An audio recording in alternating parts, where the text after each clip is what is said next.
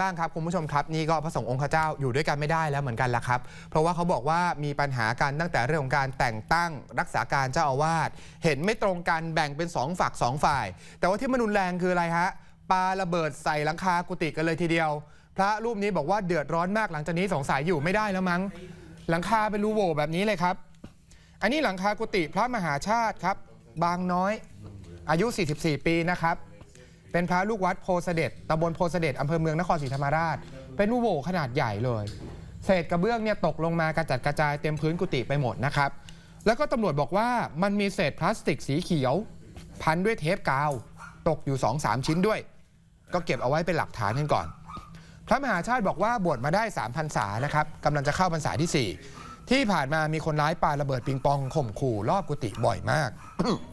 ชาวบ้านละแวกใกล้เคียงได้ยินเสียงเป็นประจำนะครับ ก็หวาดผวากันว่าเจอลักษณะแบบนี้บ่อย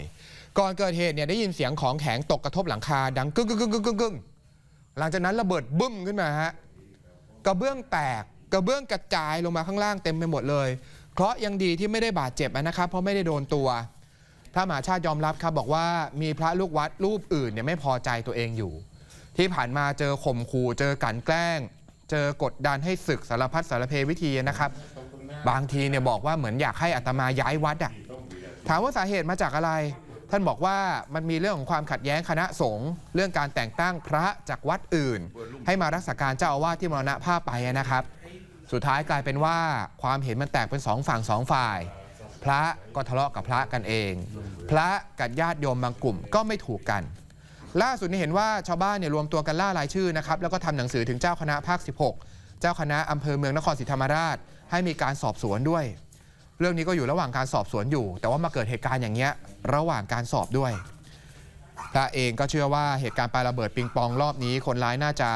โยนมาจากในวัดนะครับ เพราะอะไรก่อนเกิดเหตุท่านบอกว่าไม่มีเสียงหมาเห่าเลยฮะอืมคือถ้าเป็นคนแปลกหน้ามาจากนอกวัดหมามันน่าจะต้องเห่าใช่แต่นี่หมามันเงียบกิ๊บเลย อยู่ๆระเบิดเครื่องขึ้นมาตึ้งตึ้งตึ้งตึ้งตึ้งตึ้งแล้วก็บึ้มเลยนะครับ ตำรวจบอกว่าเดี๋ยวตรวจสอบจุดเกิดเหตุอย่างละเอียดครับ แล้วเดี๋ยวเชิญตัวผู้เกี่ยวข้องมาสอบปากคำกันต่อไปครับ ข่าวช่อง 8 ครบเครื่องเคียงข้าง ครอบคลุม